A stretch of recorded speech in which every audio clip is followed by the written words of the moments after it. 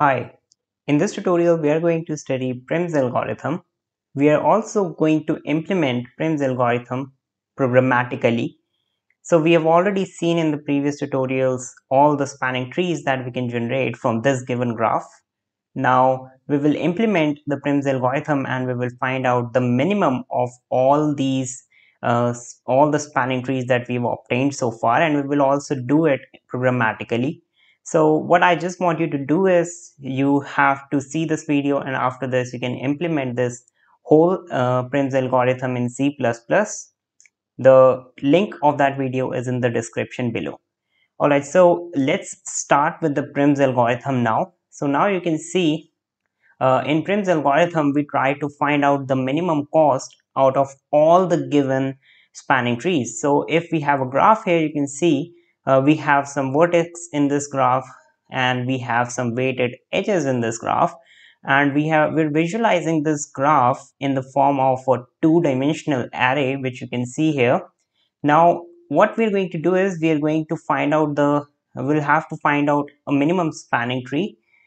So now if you will see we have a lot of spanning trees that we can generate from this graph but we will have to find out the minimum one, the one which gives me the minimum value when I will consider these vertex and edges, we will have to find out the cost of the whole uh, spanning tree should be sum up to minimum, right? So now here are the vertex and edges and so let's see how we can do that. So Prim's algorithm, one important thing about Prim's algorithm is that uh, we have to first our objective is to generate the minimum spanning tree. That's the objective of Prim's algorithm. And it is a greedy algorithm. So I'm going to write greedy here. It is a greedy algorithm. So at each and every step we are going to this algorithm is going to make a greedy move right? So if we consider any particular vertex let's suppose we consider 3 as a vertex. Let's suppose I consider 3 here and if I consider this vertex you can see there are edges going from this vertex which has weights uh, 8 3 5 and 2 so what we have to do is in the Prim's algorithm it will find the edge uh, it will find the edge which has the minimum cost so you can see 4 3 is the minimum cost which is 2 here. So this algorithm will do this recursively again and again. So let's see how we can do that in our program and now you can see here we have created a two-dimensional array.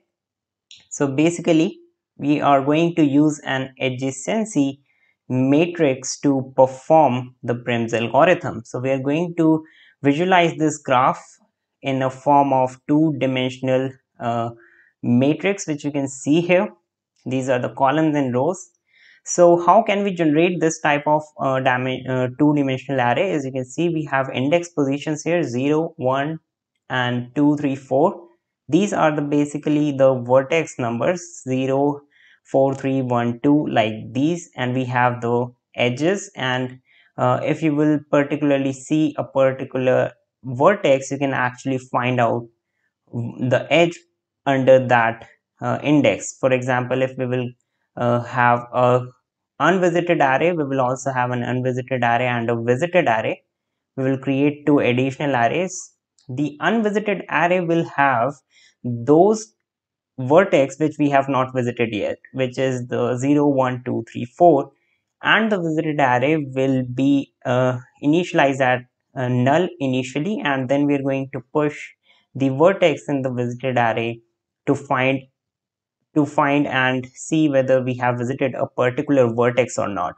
So if we have visited 3 or we have visited any particular vertex, we are going to push it inside the V array. Alright, so the next step is that we will have to generate the solution. So let's see how, how our solution which is also the output. This is our output. So let's see how we can generate the output here so in the output, we will have the minimum spanning tree with the edges. And first, we are going to pick up the first element from our unvisited visited array, which is 0. So we are going to push it in the V array. You can see that this is the 0 in the V array. So we are going to actually pick up a particular vertex you can pick up any vertex we are put uh, we will first pick up 0 and you can see uh, these are the vertex which are connected to 0 so in the visited array we have 0 as the picked or the visited vertex you will have to visit the column number z uh, the row number 0 you can see that here we have 0 and here we are going to visit the zeroth row of this two-dimensional array. So we are going to visit it, uh, the 0, then we are going to visit 1, 2, 3 and so on and in this manner we are going to cover the whole vertex we, which we have in the spanning tree. Alright, so let's visit 0 and let's see how the Prim's algorithm will proceed. So you can see that this is the whole column, this one is the whole sorry row this one is the row which corresponds to zero vertex and you can see there are some uh, non-zero values here. We are going to only pick the non-zero values. So we have crossed the zero values. So you can see 4 5 and 2 are the remaining values and we are only considering those values. The reason is that because the zero values are not uh, corresponding to any particular edge right? So here in this row, in the row number 0, we have 4 and we have 5 and we have 2 as the non-zero values. Now these are the values that we are, uh, the Prim's algorithm is going to proceed with. The greedy algorithm will pick up the minimum cost out of all these. You can see if we visit 4 vertex, then you can see the value is actually 2 so let's see how we can actually pick up the minimum value. First, what we will do is we will actually uh, write an algorithm which will be able to pick the minimum element. So the idea is basically to assign the first value as the min value. We will create an integer min. We will assign it to 4 and then we will start comparing it with the other non-zero values. We will compare it with 5 and if it is less than 0 we are going to update the value of min so min will become 5 if it is less than, but you can see that 5 is greater than 4, so min will not hold the value 5. Then we will visit the next non-zero value, which is 2 here you can see. And since 2 is less than 4, we will assign the minimum as 2. So now you can see how greedy algorithm, we are using greedy algorithm to find out the minimum value, which is 2. And we're going to do this with each and every vertex now since you can see 4 is the corresponding column of this value which is also the vertex so now we are going to push uh, we are going to first write the output here. So if we visit 0 we will be able to reach 4 because the minimum cost at 4 is you can see it's 2 so we will write the value here. So 0 to 4 gives me 2 so you can see we will write 2 here in the output. And this is basically the minimum spanning tree the output that we will get. We will write 0 4 2 all right so now since we have visited 2 we will see that the corresponding edge is 4 so we are going to push 4 in the visited array. After pushing 4 in the visited array we are going to consider the fourth row. So this is the vertex 4 we are visiting the vertex 4 and the fourth row is here. And in this row we are again going to slash out all the val zero values because they are not the edges then you can see we have two values and both are 2 now the next step is to find that the value corresponding to the this value which is 2 here is already inside the visited array or not so you can see that 0 here is actually inside our visited array so it's in our visited array. So we are going to skip that value. We are going to slash it. And again, we are going to, in the visited array, we are going to move to the next value, which is, you can see here, uh, it will be 2. So after going, uh, after disregarding 0, we are going to reach 2 here.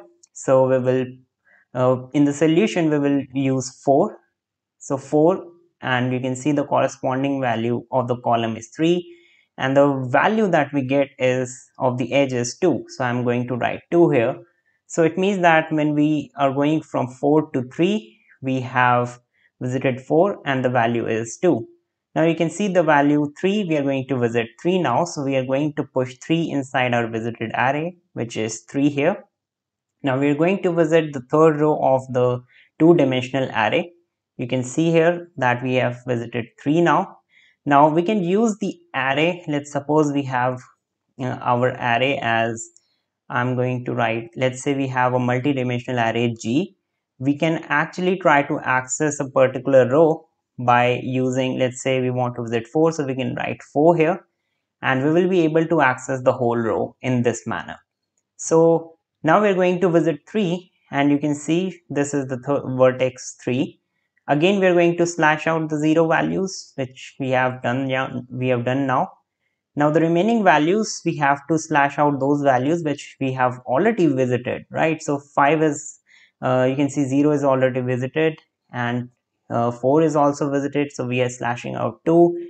So we have the remaining values 3 and 8 and then we are going to again use the algorithm to find out the minimum value which is 3 here. Again we are going to push the solution inside our solution. You can see that 3 goes uh, the value that it gives is 3 and the corresponding column is 1. So 3 to 1 gives me 3. So the next step is you can see we are going to push 1 now because the corresponding column is 1. Now we will visit the first vertex and the corresponding uh, visited array we are going to view the corresponding row. Here we will again slash out the 0 values and again we will slash out those values corresponding to the column numbers which we have already visited so 3 will also get cancelled and we have the remaining value as 1 only so uh, now what we're going to do we're going to push it in the output 1 to 2 gives me the value is 1 here so i'm going to write 1 so this is my whole solution.